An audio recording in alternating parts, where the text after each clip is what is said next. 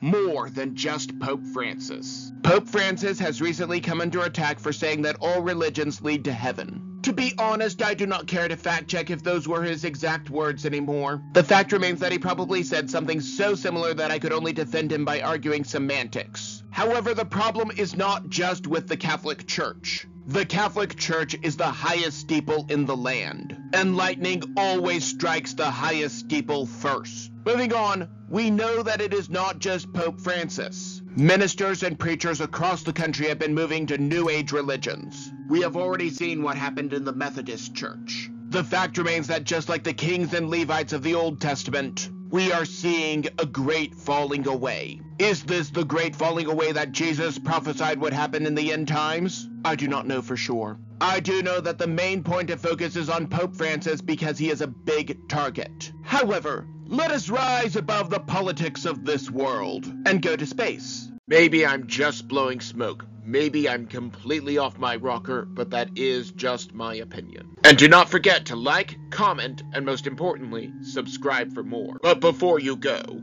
click the link on the left to watch the full video, or click the link on the right to watch another video that you may enjoy.